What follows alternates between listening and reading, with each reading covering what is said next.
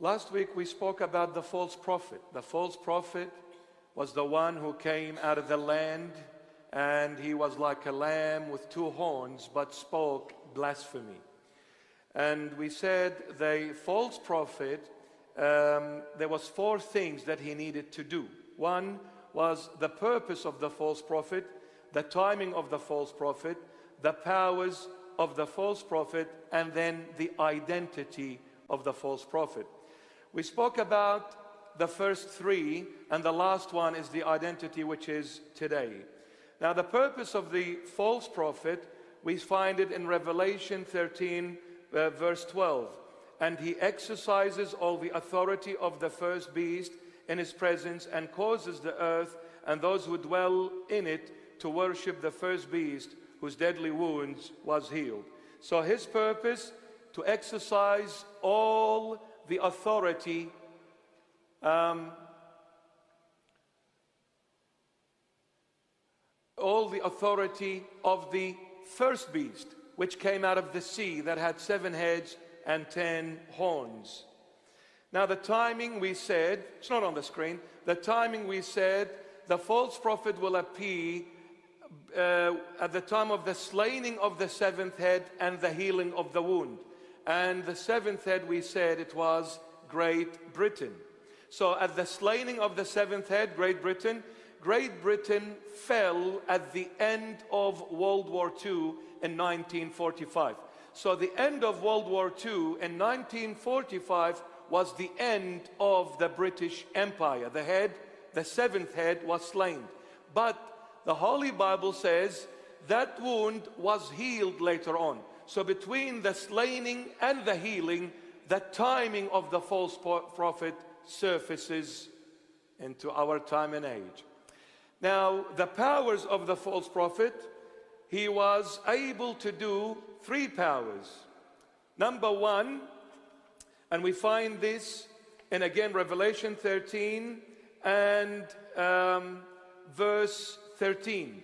He performs great signs he brings fire from heaven in the presence of men. That's the number one. Brings fire from heaven.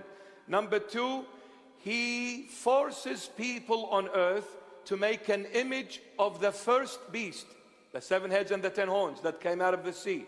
He forces people on earth to make an image of the first beast and he breathes into this image where it becomes alive.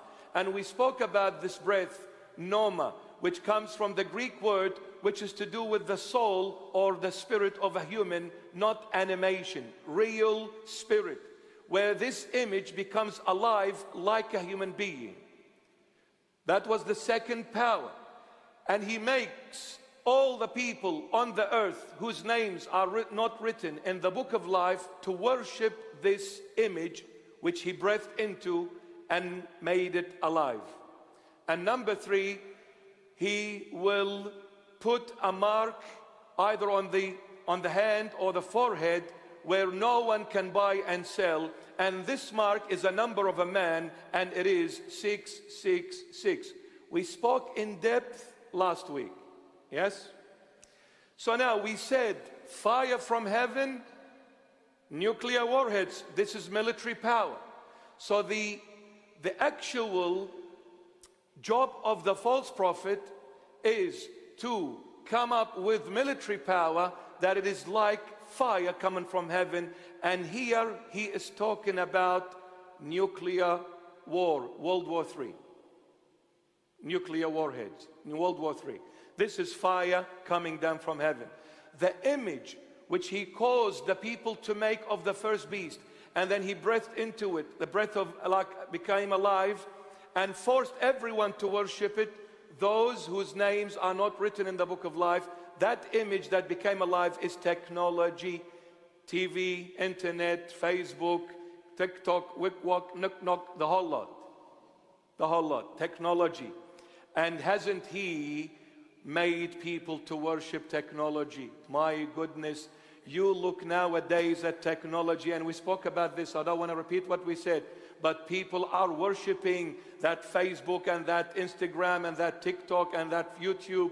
They are worshiping technology, and Satan has brought into these channels things that are so evil, evil, filth, filth. And the last one, the mark 666, either on the hand or the forehead. This is banking system. If you have military power, if you have technology, and if you have banking system, you can control the world. All of them together. A superpower nowadays is known to have the most powerful military, the most powerful technology, and the most powerful banking system. If that superpower has the three together, they can enslave everyone on the face of this earth. And this is what is happening exactly in our time and age. oh my goodness. The church is still asleep.